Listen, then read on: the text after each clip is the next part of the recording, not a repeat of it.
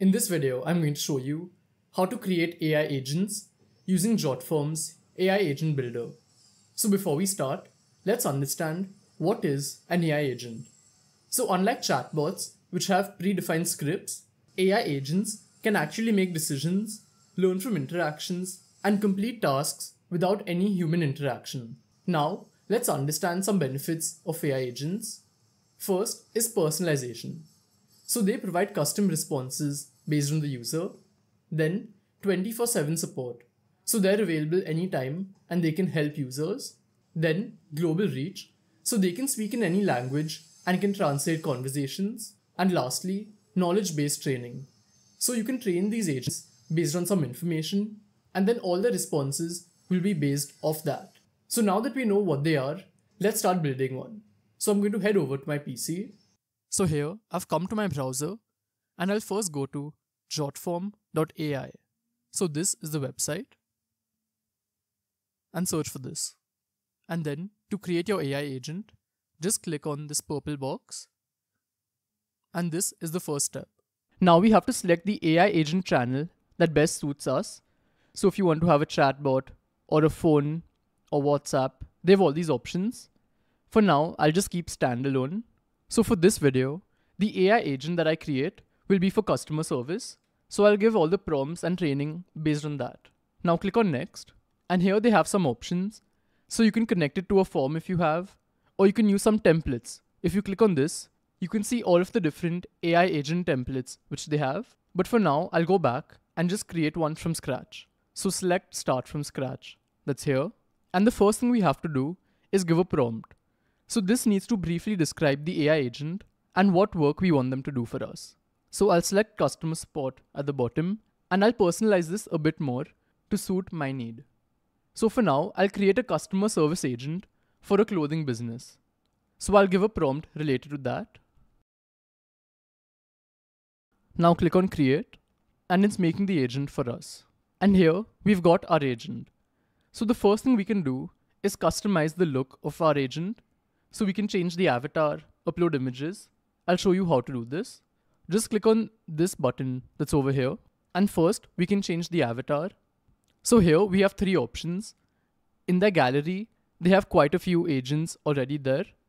Or if you want to generate one with the prompt, you can do that as well.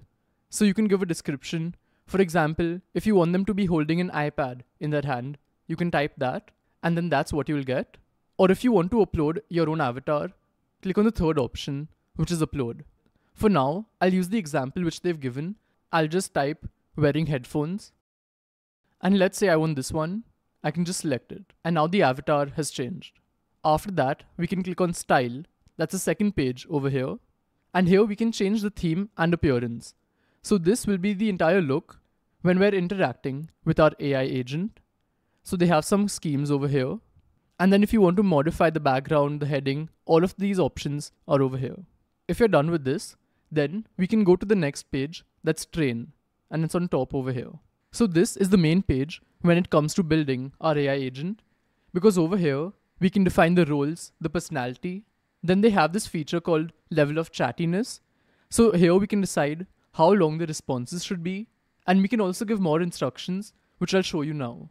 So in this, the first section that we'll go to is AI persona. It's the first option over here. And now think of your AI agent as a person. So this is all of the information about that person, his personality, and everything else. The first thing that we can do is give a name. After that, we can give a role. So this is the current role, and you can change it if you want. Then chattiness. This is what I was talking about. So for customer support, we should select either minimalist or short. But based on your use case, you can change this by just dragging it. After that, the language, and then the tone of voice. So again, you can change these if you want to. And now coming to the conversation style. So here, we need to give prompts to the AI agent of how it should talk to users. So since this is for customer support, as you can see, these are the kind of prompts which are given, like always respond promptly and courteously to users. The same way if you want to add one, just click on add new and now you can just type it in over here. So this is the first section. And now coming to the second section, which is knowledge base. So just select knowledge base over here. And here, it's possible to add information by either writing it, uploading a document, entering a link. So this is all of the information that is specific to your use case. So since we're creating this agent for our clothing app, what we can do is just click on link and here we can put the link to our website. After that, if you have some specific knowledge, you can just click on knowledge that's here and now just type in all of the information. As you can see, they've said product features, customer FAQs, etc. Or if you have a brochure, you can upload that.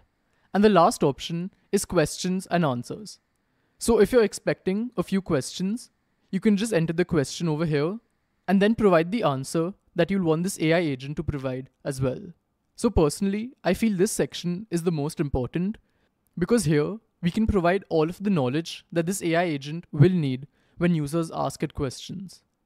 So for this, you should take your time and upload all of the information which you have because then it will better this AI agent's performance. Then coming to the next section, that's actions. So here we can define actions and basically provide scenarios and teach the AI agent what it should do in each scenario. So for now, I'll give you one example. So next to when, if you select this box, so here what I'll type is when the user asks about a brochure, then the AI agent should send an email. So next to do, I'll just select this option, then scroll down and click on send mail. So here you'll want to attach the brochure. So we can attach that from here. Then we can change the subject, the content, and once you're done, just click on save. So this is one action. The same way, you can keep adding more and more actions based on scenarios which you feel can happen. After that, they have a section called tools. So these are all of the different things that the AI agent can do. So you can just go through this. And here's an example. If you wanted to search a website for you and provide details, you can just select find in website. Then over here, you can provide a prompt then provide the details of the website and keywords. So like this, you can go through the others. Then the next section is forms. So over here, we can connect forms to our agent if we want to. So here, if we want our agent to use some form data, then we can do that. And the last option is teach agent. This is basically a playground. So here, I can ask questions and see the responses. And if I want to better it, then I can tell the agent whether the response is good or bad and if any improvements are needed. So here's an example. So this is what I've asked, that I want to return my clothes, and here's the response. But let's say I want a shorter response next time. Then what I can do, I can just tell it, next time provide me a shorter answer. And you can see, here's what it's saying. It's updated its persona and it's given us the before and after. And if you think this is good, then just click on yes, proceed. So like this, you can keep training it, you can keep chatting and providing improvements to this agent. And once you're done with this entire training process, the last thing we need to do is publish this agent. So click on publish, that's over here. And here on the left, we have all of the different publishing methods, but I'll show you my favorite three. The first one is just by copying the link and sharing it. So if you click on copy link, and if I open this in a new tab, as you can see, I can chat with my AI agent over here. Then the next method is via a QR code or through some app. So it's these options over here. And the last way is if you have a website, then just select embed that's over here. Then they have these different styles and the code for each of these styles. And that's it. It's taken us just 10 minutes to create this customer service agent and we can keep improving it by training it. So before we end, the last thing I want to show you is the AI agent in action. So I've trained it a bit. I'll show you that.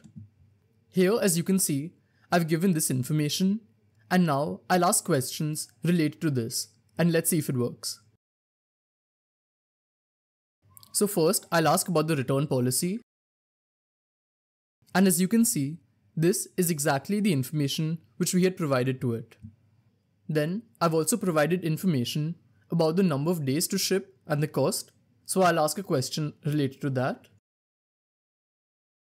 Again, as you can see, the answer is same as the information that we provided. So this is how it works, and I've provided a link in the description so you can check it out. That's it for today. Goodbye.